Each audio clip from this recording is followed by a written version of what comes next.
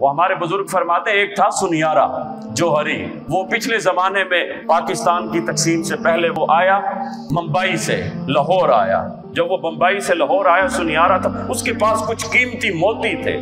अब उसने एक मजलिस में वो मोती दिखाए।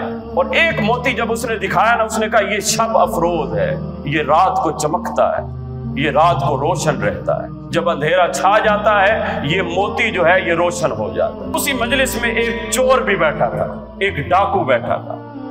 उसने जब देखा ना, उसका दिल आ गया। अब जब वो जोहरी सामान उसने जब इकट्ठा किया और जाने लगा मजलिस से बर मजलिस बर्खास्त हुई हर कोई उठकर जाने लगा, वो चोर जो है, वो जोहरी के करीब आया और कहने लगा, हज़रत, कहाँ के इरादे हैं? फरमाया, मैं बम्बई जा रहा हूँ। तो वो चोर कहने लगा हुसन इत्तेफाक हज़रत, क्या खुशकिस्मती, मैं भी वहीं जा रहा। अब हालाँकि चोर था। उसने कहा, जी, मैंने भी वहीं जाना है। तो हम फिर इकट्ठे चलते हैं। जोहरी ने कहा, ठीक है जी। जोहरी समझ गया कि ये मेरा हम सफ़र तो नहीं है डाकू, इसकी नीयत में फतूर है। तो अब वो चलने लग गए। दिन भर सफ़र रहा। रात का जब वक्त आया तो अब जब एक जगह इन्होंने क्याम किया सोने की, जो जगह थी तो अब रात का वक्त था, बास्केट निकाली, जोहरी ने भी, उस डाकू ने भी और एक जगह लटका दी। अब जोहरी ने, वो समझ गया था कि ये डाकू है। आँख बचाकर वो जो मोती उसकी जेब में, उसकी वास्केट में था, वहाँ से निकाल कर उस चोर की वास्केट में रख दिया और सो गया आराम से।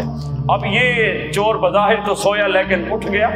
ये रात भर जब उठा ना, फिर उसकी वो बास्केट उसकी जितनी भी सामान थे, वो सारा टटोलने लग गया कि मोती मिले और मैं पाऊँ और निकलूं। लेकिन पूरी रात वो ढूंढता रह गया, कहा मोती?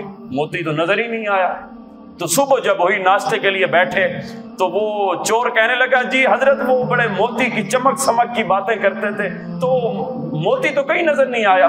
फरमाया, नहीं, अभी तो था मेरे पास। वो हज़रत, वो जब जोहरी सुबह उठा ना, आँख बचाकर उसकी जेब से निकालकर अपनी जेब में डाल लिया उसने कहा भी तो था मेरे पास। वो निकाल कर सामने रख दिया। चोर बड़ा हैरान कि ये क्या? अब फिर रात आई, उसने कहा, चलो, आज रात देखते, आज नहीं जाने दूँगा। मैं फिर जब सोने लगे, जोहरी ने फिर आँख बचाकर जो है, वो मोती अपनी जेब से निकाल कर उसकी बास्केट में रख दिया। और फिर ये आकर सो गया। अब डाकू फिर शुरू हुआ। फिर उसकी बास्केट, उसकी जेबें टटोलता रह गया। लेकिन कहा? कहीं नहीं मिला। फिर जब सुबह आई, नाश्ते के लिए बैठे, वो हज़रत वो आपकी मोती की चमक समक फरमाया, अभी तो था मेरे पास, वो जेब से निकाला और दिखा दिया।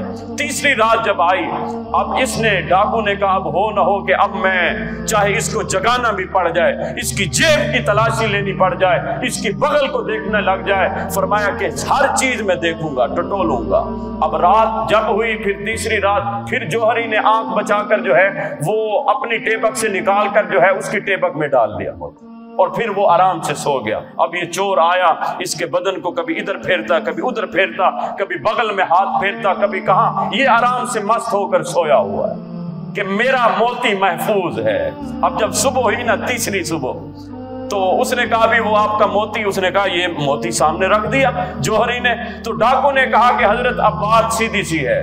मैं आपका कोई हम सफ़र नहीं था, मैं कोई बंबई नहीं जा रहा, मैं तो था एक डाकू।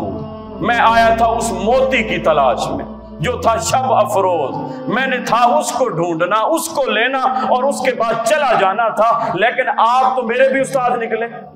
आप तो मेरे भी। आप मुझे जरा बताइए, वो मोती कहाँ रखा करते थे? आप जरा गौर कीजिए। वो जोहरी जो समझदार था, उसने कहा, साहिब, दूसरों की जेबें टटोलता रह गया।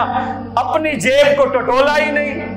अपनी जेब को देखा ही नहीं। अरे जो तू दूसरी की जेब में देख देख रहा था, काश के अपनी जेब में भी देखता तो तुझे वो हकीकत मिल जाती। तेरा मकसद, तेरा मतलूब हासिल हो जाता। ना मस्जिद विच, ना मंदिर विच। लब यार नु अपने अंदर विच। और बाबा बुल्ले शाह ने कमाल कर दिया। फरमाया, रब रब कर दे, बुढ़े हो गए। मुल्ला पंडित सारे, रब दा खोज खुराना लब्बा, सजदे कर कर हारे। रब दा तेरे अंदर वसदा विच कुरान इशारे बुल्ले शाह रब ओनू मिलसी जेड़ा अपने नफ्स नु मारे